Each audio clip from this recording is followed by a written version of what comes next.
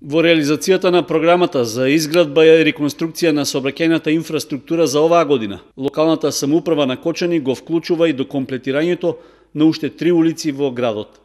Се работи за делови од улиците Блаже Попарсов, Ѓорги Пулески и Стамен Манов. Според проектната документација, планирано е целосно да се завршат, односно да се доасфалтираат уште околу 800 метри на трите улици.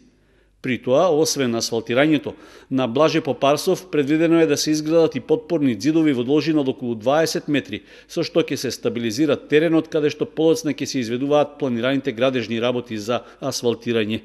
Обштина Кочани веќе објави јавен тендер за избор на најповолни понуди од заинтересираните изведувачи на градежните работи. Вкупната вредност за изградби и асфалтирање на улиците е планирана на околу 4 милиони денари.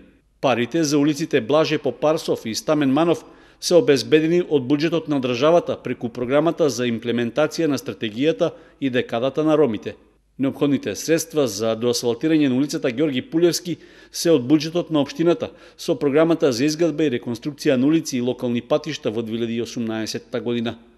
По подпишувањето на договорот со фирмите чии понуди ќе бидат избрани како најповолни, асфалтирањето на трите улици треба да се реализира во период од 1 до 5 месеци.